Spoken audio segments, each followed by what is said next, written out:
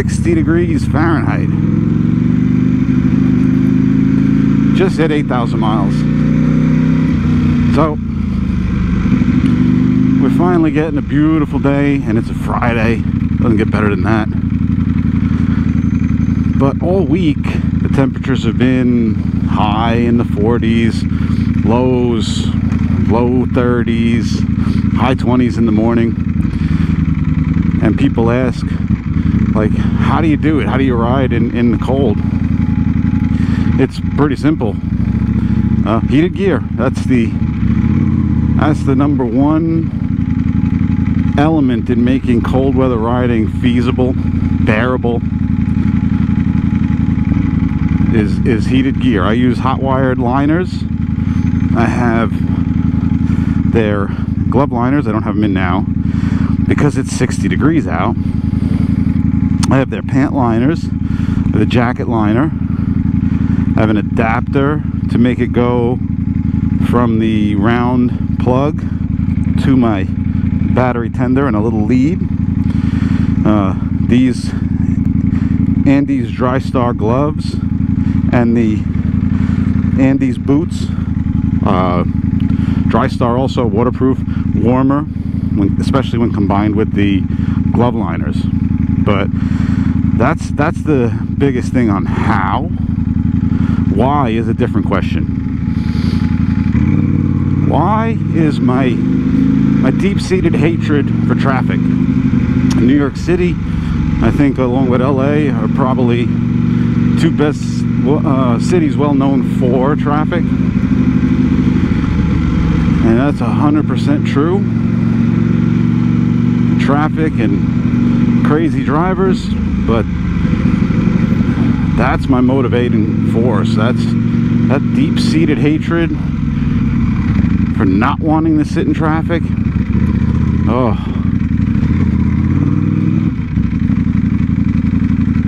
That's it. That's number one. I'll deal with cold. I'll deal with anything else to avoid sitting in traffic. I know I've been sitting in traffic as I was just talking. I can deal with normal traffic. I can't deal with this, what seems to be engineered traffic. Lane reductions, bus lanes that remove travel lanes, bike lanes that remove travel lanes. Like that's the type of stuff that I I have a hard time dealing with. You know, taking a longer way home today just because it's such a beautiful day. But normally it's not this bad. And, and like I said, if it's just traffic for to be, you know, because there's traffic, because there's an accident, I, I can deal with that.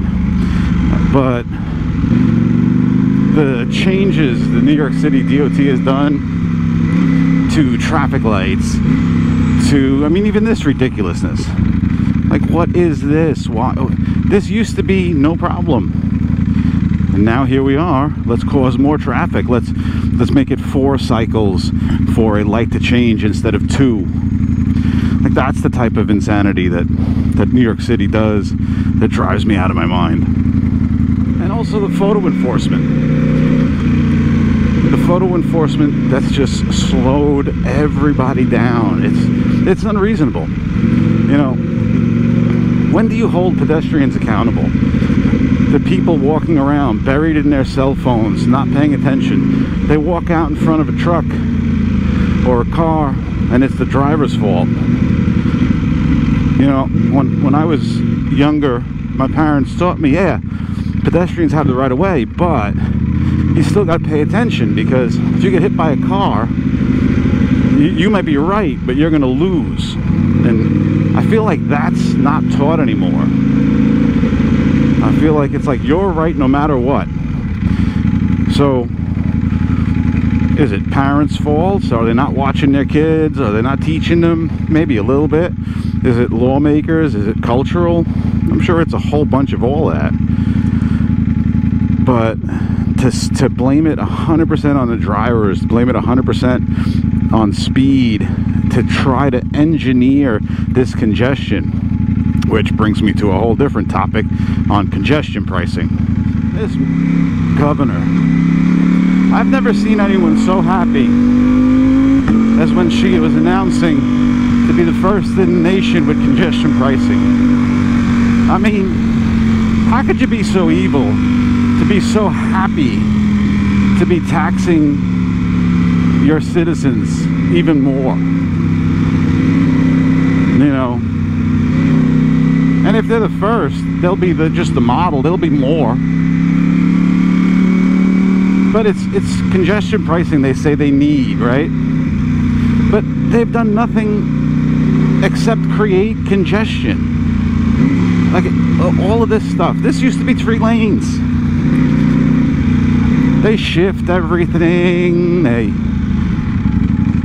time lights, all this stuff. This is just to create congestion so they can justify congestion pricing, in, in my opinion. But to be happy about it, I mean, just thrilled. Uh, what a what a garbage governor we have. You know, and they're in total denial that people are leaving New York, same as California, and they're in complete denial as to why. Also, we don't have a straight piece of road in New York City. We don't I don't think we have a quarter mile of road that's straight. I mean, when I say straight, I mean straight, not bumpy, not with ruts, not with dips, not with potholes. With, with New York City's budget, you would think they'd be able to have beautiful roads, but no. Nope. Even the bus lane, which you're allowed to be in until 4 p.m., but even the bus lane, it's choppy and, you know, recently took a trip to Biketoberfest in Daytona, and when you're riding around in some of these other states, Georgia, Florida, the roads are just so smooth, so perfect. Why, why can't we have it? New York City has a budget almost the size of the entire state of Florida. And we can't have a smooth, straight road anywhere. It's absurd. So yeah, that's why people are leaving. I've got a few years left until my business interests are completed and, and I'm out. I'm, I'm heading for sunnier shores.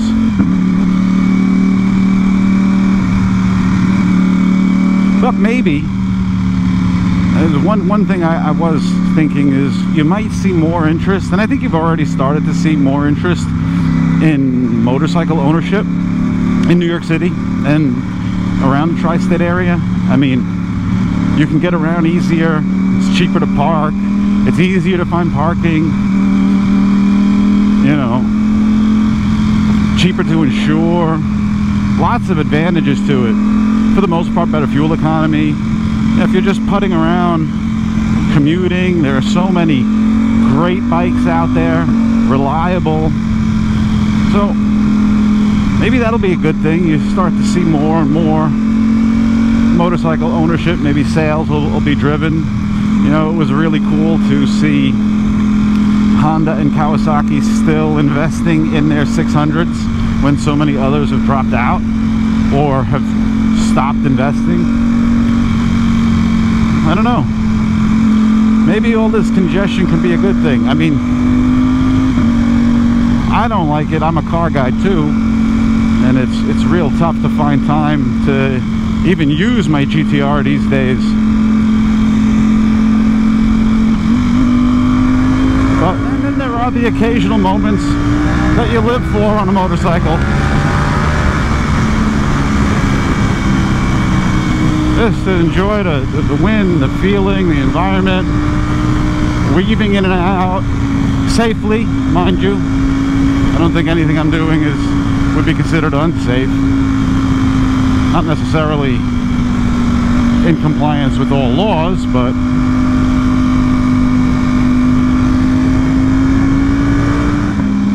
this is more of the stupidity. This is there's no reason for this traffic. Like, there's no accident at the end of this. what is it, sun? Seriously?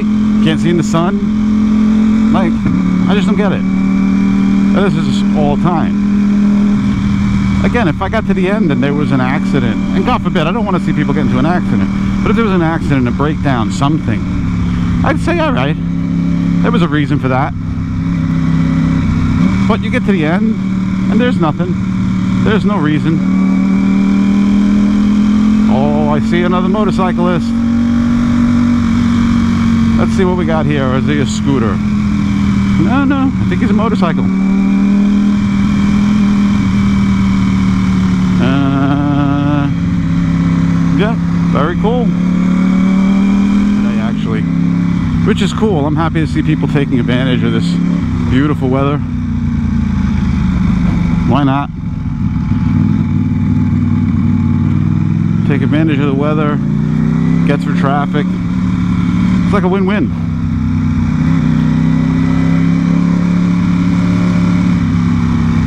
I think I'm going to get off this though. Just because I know the streets around here can be a little bit more fun. Even if this will get me home faster. You know, while I do lane split, it's, I wouldn't say it's my favorite activity. I just hate sitting in traffic more.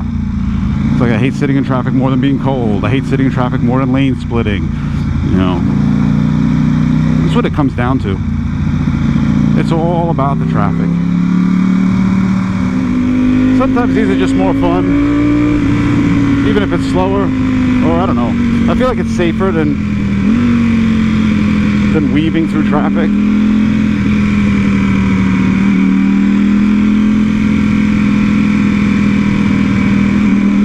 Probably don't save any time because you can you can kind of weave and you don't have lights to deal with, but I don't know, it just feels like more fun to me. As long as people cooperate, you don't catch every light, you know. But uh, there's not much you could do about that.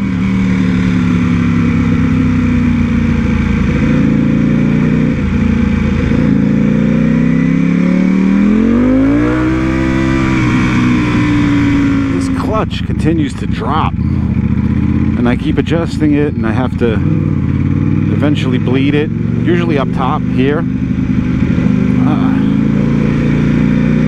You know, I brought it in, had a uh, had them look at it. It's like nothing's wrong, nothing's wrong. I don't know. It's just it's annoying that on such a great bike they uh, they can't get something simple like the clutch right. But then again, neither could Harley Davidson, and their bike's expensive. I wouldn't call it great, but expensive. And they actually went back to a cable clutch because they couldn't get the hydraulic clutch right. Uh, I'm not saying that's the solution. I like the hydraulic clutch. What I don't get is why the hydraulic clutch on my 959 is flawless and this one isn't. I mean, should be very similar systems, same manufacturers. The difference of a year, my 959 is an 18, this is a 19. You know, you'd think they could get something right. But, or I shouldn't say they could get something right. How did they get it right in one aspect and then wrong in the next. It, that's the part that really confuses me.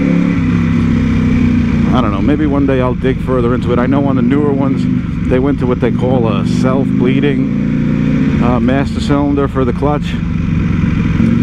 And maybe that was the, the solution, because it, it's always the master. I, I bleed the master, and the clutch is perfect. And it's perfect for a while.